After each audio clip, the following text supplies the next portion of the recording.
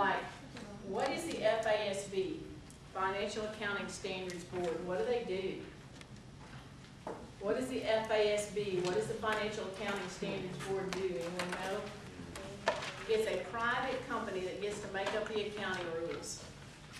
It's the only, only type of business, accountants, we have a private company that gets to make up accounting rules. It's the FASB, Financial Accounting Standards Board. These rules that they make up, Is that in our book by chance? it's over on page uh, twenty-one, page twenty-one. This is on page twenty-one. This is the Financial Accounting Standards Board. They get to make up the rule. I don't think your book talks about the SEC yet.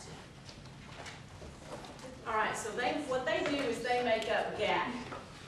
GAAP is generally, here's GAAP.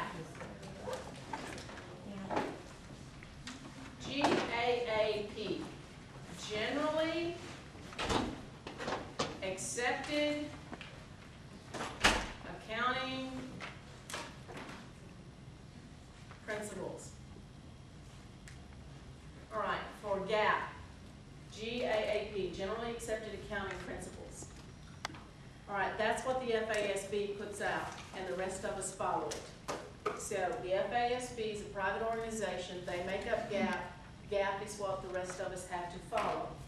Some of the examples that they give in your book is they talk about accounting period. What is an accounting period?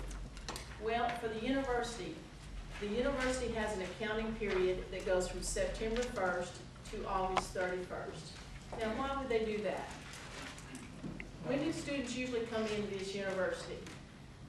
Fall, then they stay till the next August. Um, if uh, I am Walmart, do you think my, uh, my accounting year is January first to December thirty-first?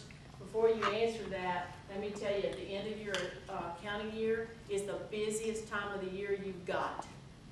And you've got to count all your inventory, You've got to do a lot of extra work. So how busy is it at Walmart on December thirty-first? Do you want to be counting inventory at Walmart on December thirty-first? No. So they've got some weird thing like theirs ends like the third Thursday in February or something like that. That's an accounting period. So when you go and you look at their accounting, uh, annual report, they've got an accounting period there.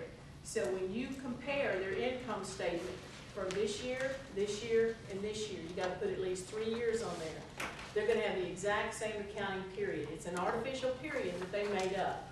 So the university's period is September first to August thirty-first.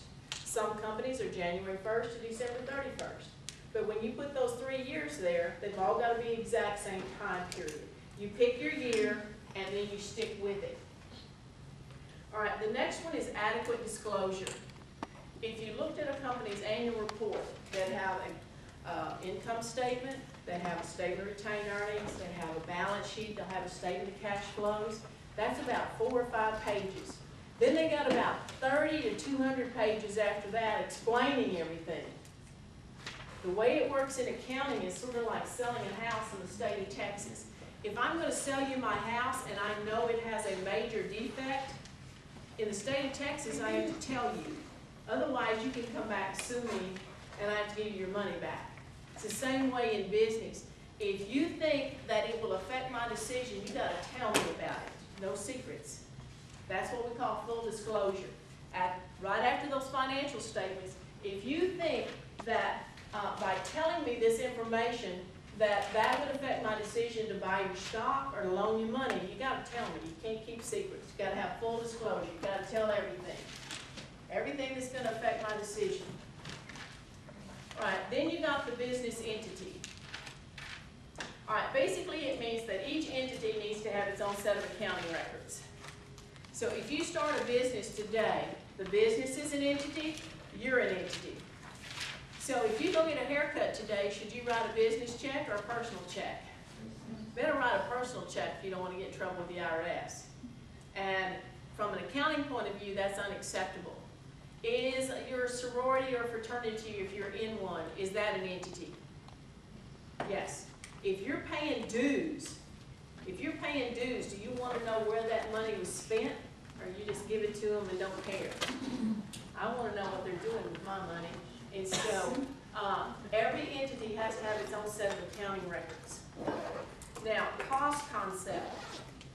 Cost concept is one of the weirdest things we have in accounting. Cost concept really applies to your, to your property, your land, your buildings, and your equipment, these big ticket items. The way it works is this.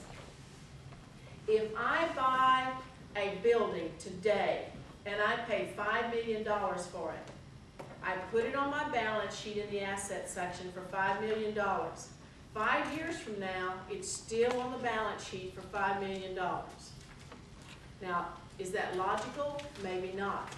So if you go and look at a balance sheet for Walmart, can you look at their property, plant, and equipment and tell how much it's worth? It's how much they paid for it, not what it's worth. Now, if you were gonna loan them money, you'd probably wanna know what it's worth. But you'd have to get that information from someplace besides the balance sheet. Um, if, um, let's say that I bought a piece of land, um, in downtown Austin, and I paid five million dollars for it forty years ago.